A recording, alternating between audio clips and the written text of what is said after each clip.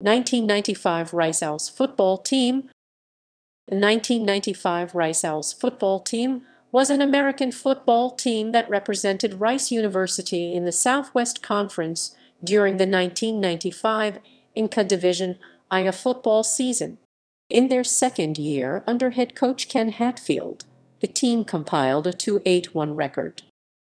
Schedule equals equals references equals equals equals